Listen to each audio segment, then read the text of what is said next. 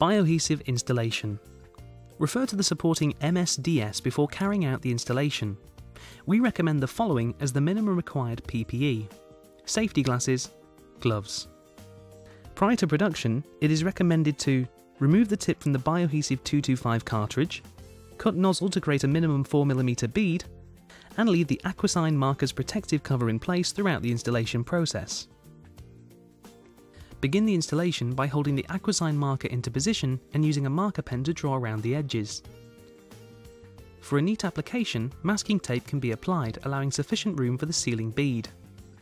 As you become more proficient with the installation process, these steps may be omitted. Abrade the surface area using an abrasive such as emery paper to create a key for the adhesive to adhere to.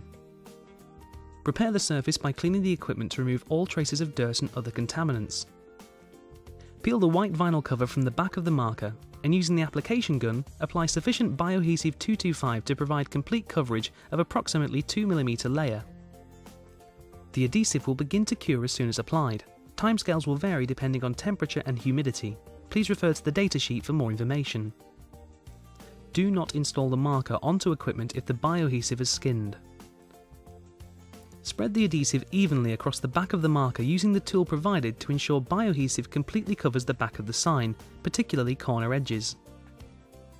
Place the AquaSign into position and roll the marker surface to remove any air bubbles.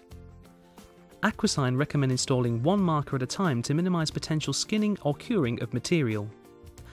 With the excess adhesive, use a finger to create a seal around the marker edge.